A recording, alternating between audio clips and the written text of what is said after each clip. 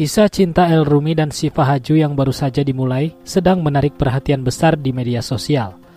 Meski hubungan mereka masih tergolong sangat baru, sudah banyak penggemar yang memberikan dukungan penuh dan bahkan berharap agar mereka segera menikah. Respon positif dari para penggemar menunjukkan antusiasme yang tinggi terhadap pasangan muda ini.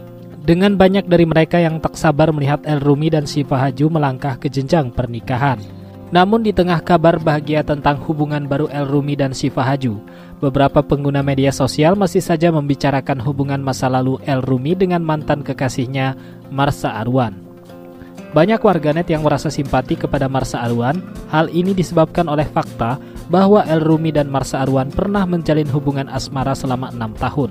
Bahkan sebelum mereka resmi berpacaran, keduanya sudah menjalin kedekatan sebagai teman.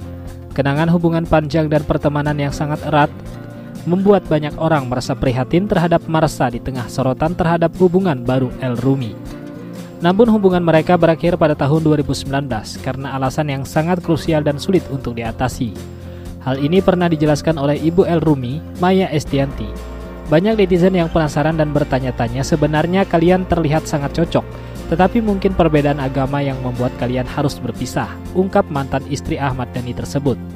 Menurut Maya, meskipun banyak yang melihat kecocokan di antara El Rumi dan Marsa Arwan, perbedaan keyakinan menjadi hambatan besar yang tidak bisa diabaikan, sehingga mereka memutuskan untuk mengakhiri hubungan yang sudah terjalin cukup lama. Jadi ya itu hal yang paling berat sih, sambungnya. Maya Estianti mengatakan hal itu tepat di depan Marsa Arwan. Aduh, kalau udah ke situ tuh sudah susah ya, jawab perempuan 27 tahun itu. Maya Estianti juga memberikan pandangannya mengenai pengalaman cinta beda agama yang pernah dialami oleh Erumi dan Marsa Arwan. Menurut Maya, perasaan yang mereka alami mirip dengan cinta terlarang. Itu seperti mencintai seseorang yang, aduh, aku sangat menyukainya, tetapi dia sudah menjadi milik orang lain.